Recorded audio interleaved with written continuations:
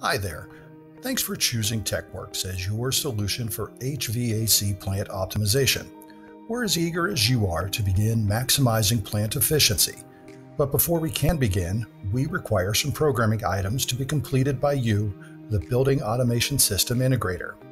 To ensure seamless integration between the Building Automation System and the Xpress Optimization Controller, we'll need the following programming elements within your control sequence a system heartbeat, a system watchdog, optimization switches, and lastly, a bumpless transfer sequence.